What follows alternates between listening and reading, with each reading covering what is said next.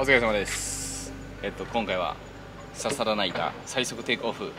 まあ超好みからだいたいほとんどの人が入るまあリミットって言ったらおかしいですけどまあロングボードは大体あビーチブレイク頭ぐらいまでしか入らないと思うんですよ。でまあその頭の感じも別ですけども台風のビーチブレイクってなかなかいかないと思うんですけども大体が腰腹ぐらい。まあでも今回の波でちっちゃい波でもたくさん乗れるっていうことで。まあ何よりもあのこのインザダーク改父式の特徴刺さらない。このノーズですね。見えますか？このノーズが上がってるんですよ。でもこの辺の位置はフラットなのでテイクオフはもちろん速いです。でも刺さらない。で横に行く時のスピードですね。テールが絞っております。見えますか？テール。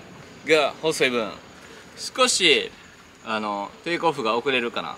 とかいう質問もあるんですけども。テールが細いからって言ってターンはしやすいんですけど。スピードは確かに遅くなるところをこの厚さでカバーなおかつ EPS でカバーするっていうことでスピードは非常に速いです。でもちろんテールロッカーがすごいフラットなので多分これが薄かったらまあごつかったら EPS かな、まあ、このロッカーで幅があってでかかったらまあ間違いなく曲がらないです。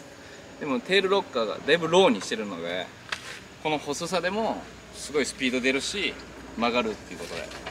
まあ本当にあの父親が乗って分かるように曲がりましたが曲がりました。曲がりましたよね。簡単に曲がる？じゃあ簡単に曲がる。PU とこのまあインザダーク土式 EPS と比べてこの最初の0.5コンマぐらいのスピードどっちが曲がりますか？団地でそれ。団地でこれですよね。あと EPS のやっぱり漕ぎ出しは多分こっちの方が絶対速いと思うんですよ。楽。どうですか？楽。楽々テイクですね。僕あの動画見てても思ったんですよ。だいぶ楽々に乗ってるなと思って。今日これとワド式をあの乗り比べて見てたんですけどもやっぱりスピードはこっちのが団地で速かったです。でちょっと疑問に思ったのがこっちの方が正直あの立ってる時安定してるかなと思ったんですよ。けども帰ってきて父親に聞いたらいやこっちのがイージーやって言うんですよね。これでイージーじゃないって言ってる人は多分この辺に乗ってるかと思うんですよ。板簡単に揺れますよね。こんなにちょっと軽く押しただけで揺れるので、まあ、大体この辺に乗ってもらったらまあ揺れが少ないです。板自体が揺れがないです。ね。揺れがないですよね。こう上から押したらこんだけ動きます。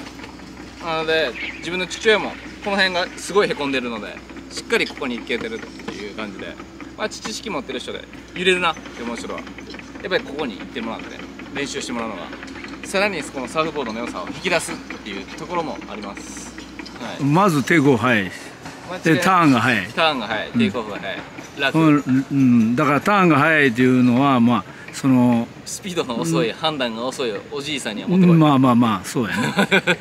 でもほんまに曲がんのが一番何よりこう嬉しいやな、まあそうですね、うん。横に走れるっていうのが。やっぱりノーズライド行くためには今すごい64歳の父親をこうノーズ行かしてあげたいと思って教えてるんですけども最初のターンが遅れるとやっぱり結構先がないっていうか この日本のビーチブレイクでは難しいかなっていう感じがするんでいかに曲がるか。で逆に父親ここあんまりへこみがないんであんまりテールが踏めてないんですテール踏めてない。テールが踏めてない分やっぱり細くないと曲がらない、うん曲がりが遅い、うん。